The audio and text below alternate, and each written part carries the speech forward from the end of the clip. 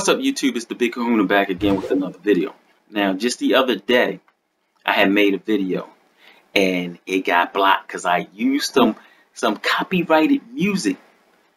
The same copyrighted music that I used a few years ago and there was no problems.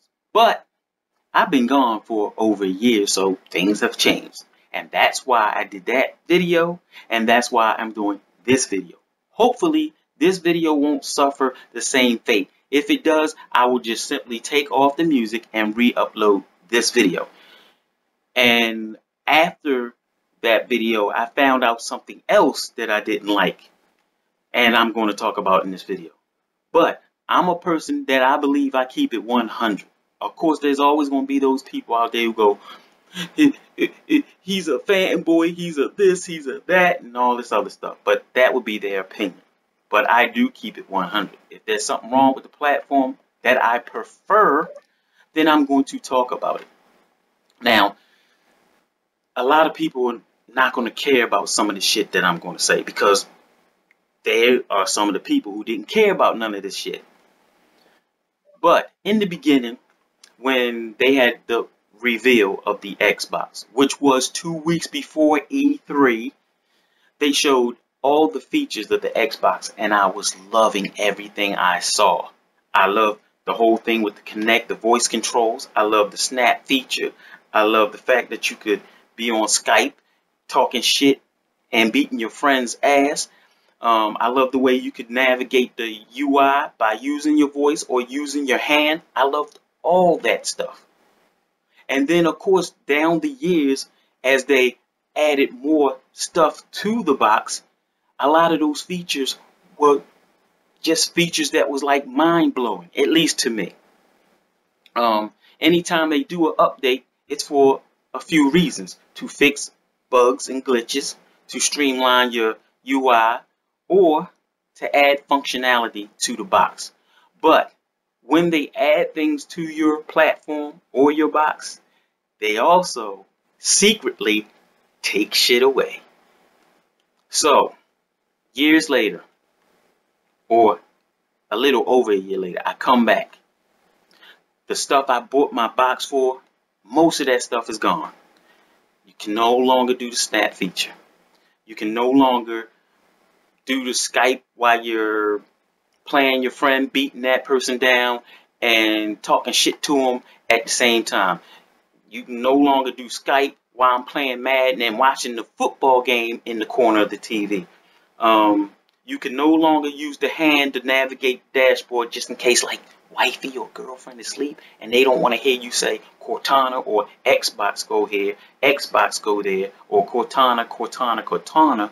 You could just use your hand and navigate the dashboard. All that stuff is gone. Then one year they come out and they bragged about Cortana. She's your personal assistant.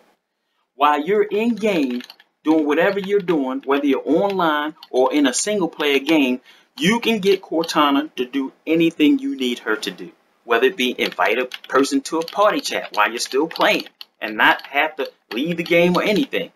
Um, find out who's online by asking Cortana. Um, go to a certain thing by asking Cortana. Send a message by asking Cortana, all while you're still playing your game. Now that feature's still there, and maybe it's just my update, I don't know.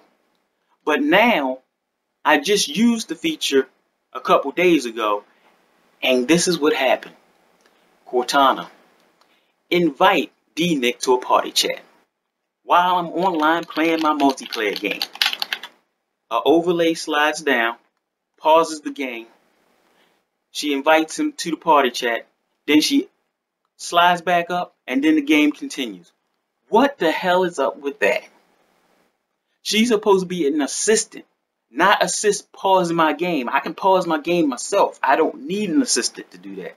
However, I do need somebody to go invite somebody or find out if somebody's on or send messages on and play my games without leaving my game. That's what I wanted. So what happened to Cortana now? It makes me want to go back to just saying Xbox. Furthermore, also I found out after the video that I just posted the other day, I did what I did so many years before that. I would, on my Xbox, go straight to YouTube on Xbox and go ahead and upload my video to X to um YouTube. Now I go there and what do I find? I can't upload my my um content to YouTube. I'm in a party chat and some YouTubers and friends are in there and they're telling me, oh yeah, this is how you do it. Go to your PC. I don't have a PC. Okay, well go to your phone or your tablet. Go to OneDrive. Download it from OneDrive to your phone or your tablet and then send it to YouTube. What? What? You mean we went from doing that before to now doing it from the Xbox back to doing it again? Microsoft, you're killing me. You're killing me. While you do add other features to the box that are awesome, you take other features away that are just as awesome. Like they have the feature where, and I always wanted to, to do something like this, but I just found out that you can actually, if you on the Xbox app, you can get on your phone, see who's in the party chat, and join the party chat from your phone. That is awesome. However, all the other shit that made this thing awesome is gone. Microsoft and the stuff that you do have here doesn't work the way that you advertised it now. So are you guys going to fix this thing? I mean, I know you don't care about the Kinect, which I still care about. I know you don't care about the Upload Studio, which us YouTubers, the ones that still use it, are faced with coming up with all kinds of inventive ways to use the Kinect. I don't know what to say. I still love the Xbox brand, but Microsoft, can you please fix that shit? Do something. I mean, I, I understand some of the stuff was done to either make the UI faster or to up the speed of the box or whatever you did, but it's killing the reason why I got this box in the first place. Just keeping it 100. And as I always say, fanboys don't love their favorite system.